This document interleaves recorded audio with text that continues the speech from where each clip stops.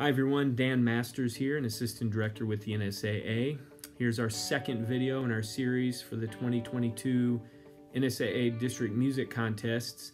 And today's topic is one I haven't broached yet, but it's probably well past time, and that deals with music adjudicator recruitment and retainment. Um, a topic that some of you are going to relate to because you run some contests locally. Um, maybe you, you um, work with adjudicators in other music associations across the state. So let's talk about recruitment first with adjudicators.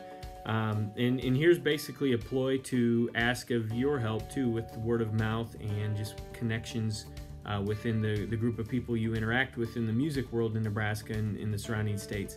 Number one, um, this is a great time and opportunity to ask of um, anybody that you know that would be interested in adjudicating for district music contests um, that has maybe retired have them register and help out with contests. We see this in a lot of our other NSAA activities. It's a great way for our retirees to stay connected with kids and in the building, and most importantly, and probably most excitedly, in the music world.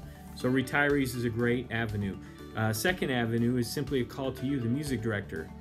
Uh, maybe you're able to geographically and schedule uh, schedule wise able to adjudicate contests after your contest or before your contest during that district music contest week. Some of you already do that. Maybe you haven't given a whole lot of thought to that, and that'd be a strength of yours to adjudicate during contests that week outside of your date.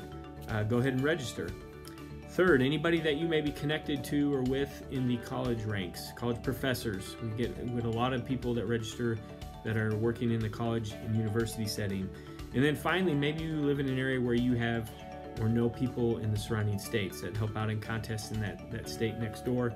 That's another avenue we see often. Um, retainment isn't as big in the music adjudicator world as it may be in our other activities or some of our other activities, um, but there are a couple of angles we look at this retaining of judges from year to year.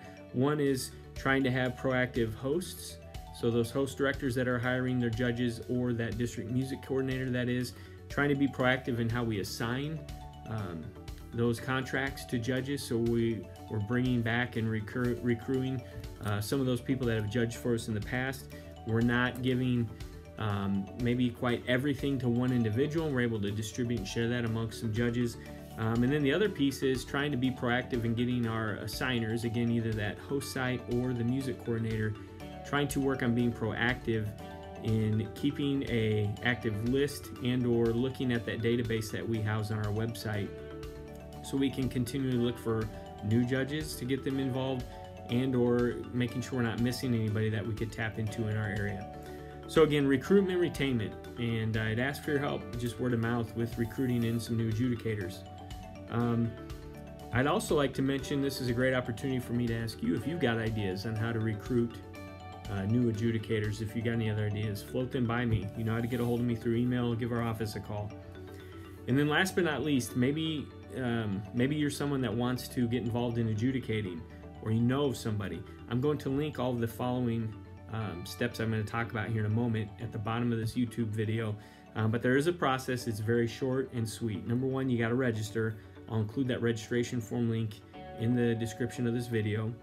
After that, it's important we have a, um, a guideline that calls for any music adjudicator to watch our NFHS course called Music Adjudication at least once every three years. And it is a great refresher if you if you've seen it years ago. Um, it's also great for anybody that has not seen it, and it explains what we'd like to see out of our adjudicators during contest time. It's a training tool that we utilize. It's been very successful. And then last but not least, each year I create a points of emphasis presentation for district music court, uh, district music contests. You've seen it as a director. I also create one for our judges, and we ask that our judges view that um, and that our host sites show that that presentation to them before contest.